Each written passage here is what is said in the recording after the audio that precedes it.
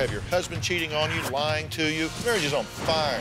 It's season 22 An Affair with the Neighbor's Wife, Part 2. You're either going to choose your family and your children, or you're going to choose him. He loves me. He has you in the back seat of a car, sneaking around in a hotel. If that's love, leave me out. When you leave here, what are you going to do? Next, Dr. Phil. Leave this woman and her family alone. Check your local listings